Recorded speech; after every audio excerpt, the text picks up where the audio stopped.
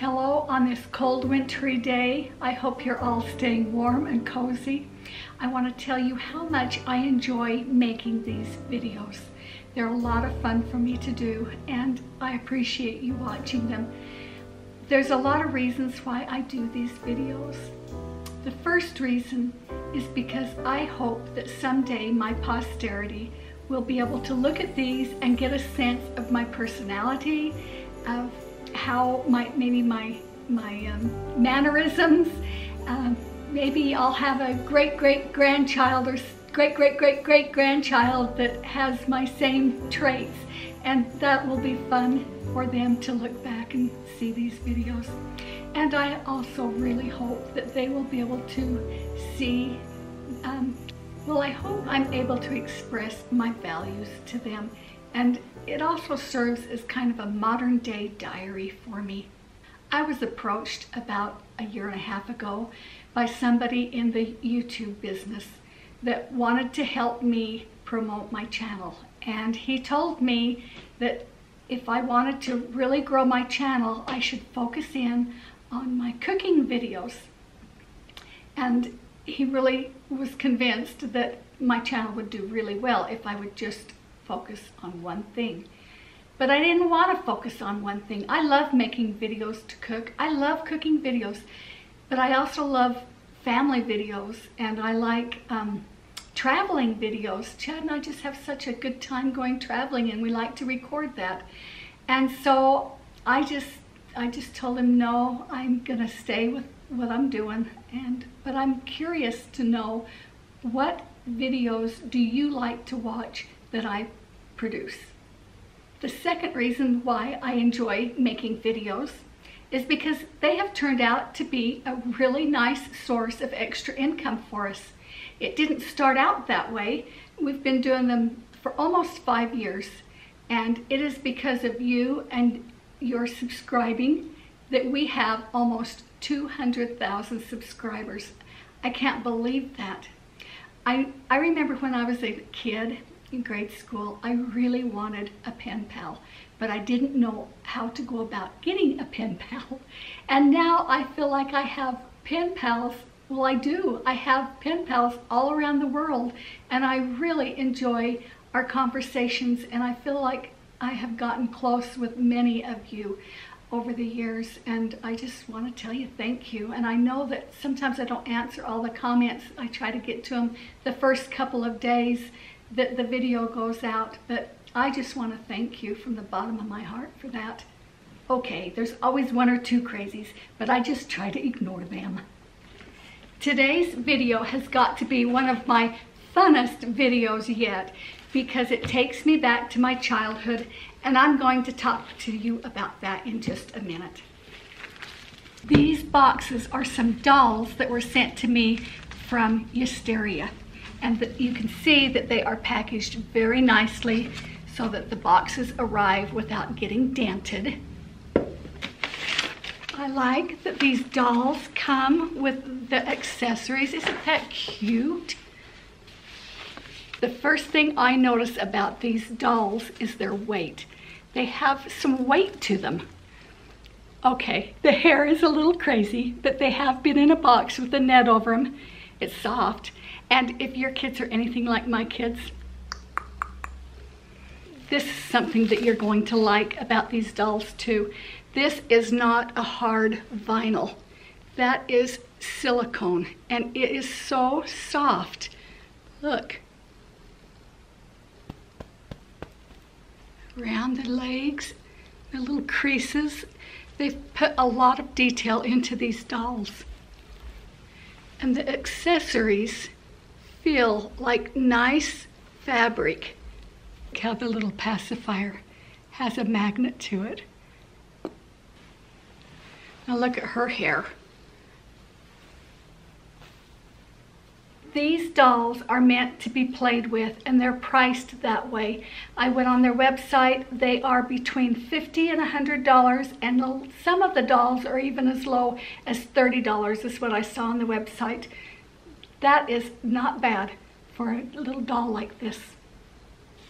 Yusteria is giving away a free doll to one of my viewers And all you've got to do is leave a comment in the comment section below and within 48 hours of the time I post this video, they will select the winner of a new doll. Did you get a new doll for Christmas when you were a child? Every year. I did. I got a new doll every year. And one year I asked for a Mrs. Beasley doll. And Mrs. Beasley, I, am sure every child in the United States wanted a Mrs. Beasley doll.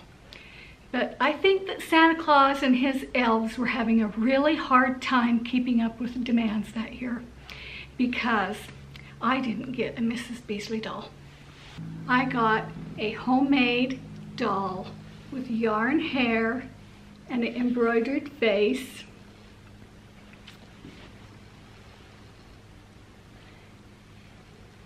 and I loved her. But I also pretended that she was a Mrs. Beasley doll. That year I also got a little pink cradle and that's what she came in, a little homemade blanket and a homemade um, pink rocking cradle. And I've given most of my dolls away to the girls I think I've told Julie that she could have this one. So this is Julie's doll when she wants to take her home with her. So do you ever remember getting the Sears and Roebuck catalog?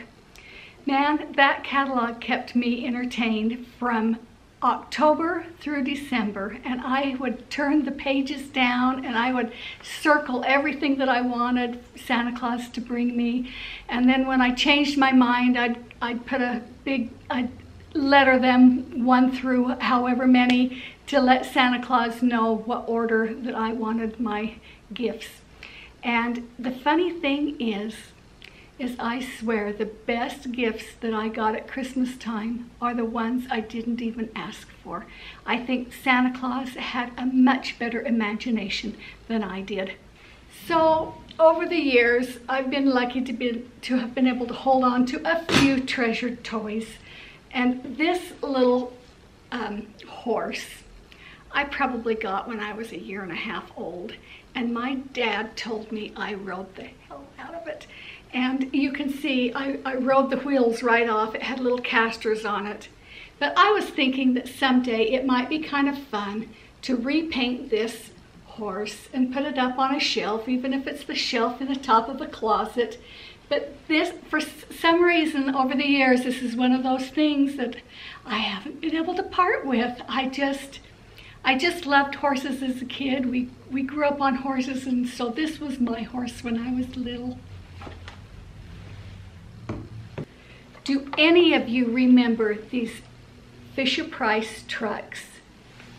And I, I think they make them now, but they're, they're different than this. This is a good old wooden truck and it had the milk cartons in it and I'm sure mine got soury and my mom probably finally threw them away but um, but I would take this out in the dirt and you can see that is dirt from my dad's field and I played so hard with these trucks.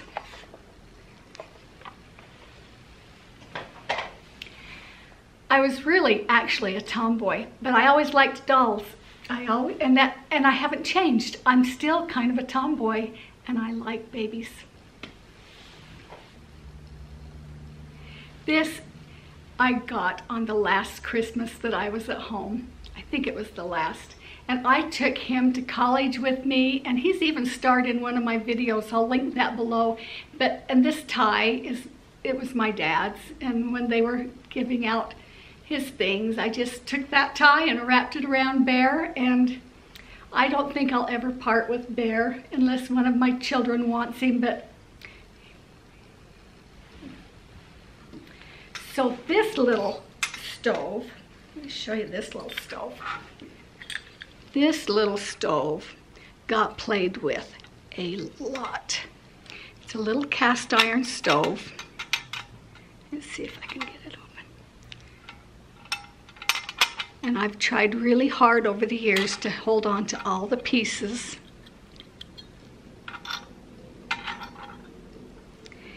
And I think this stove represents me because I'm a little bit old-fashioned. Deep down, I'm really old-fashioned.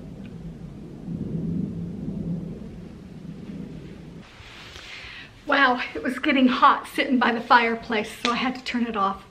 Um, I want to tell you one more story. I was probably maybe three or four, and my brothers came into my bedroom Christmas morning. My brothers and sisters came into my bedroom, but I really remember my oldest brother because I don't have very many memories of him when I was living at home because he was so much older than I was. But they came into my bedroom and they were so excited because Santa Claus was in the front room that very minute.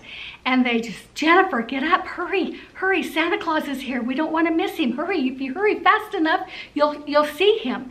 And I had, I had a wet diaper, cloth diaper, and I was so uncomfortable. I remember that. But I did it anyway. I ran into the front room anyway, and by the time I got into the front room, he was gone. He was gone already. I just missed him by that much. My brothers and sisters are like, Jennifer, you just barely missed him. And I'm like, oh, if I'd have hurried faster. But anyway, Santa Claus left me an easy bake oven. And this wasn't the kind of easy bake oven that sits on the counter, you know, those little things they have now. This was an easy bake oven that stood on the floor and it had a stove top and it, and it had a door that uh, oven door that came down and it was probably one of the first easy bake ovens out there I bet. This was in like 1964, 1963, something in there.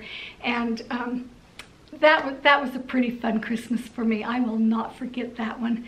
Um, there's so many others, but I think I've rambled on long enough for now. And I sure appreciate you watching this video. And if you're one of my grandchildren years from now, you just remember that Grandma loves you and Grandma knows that there's a Santa Claus.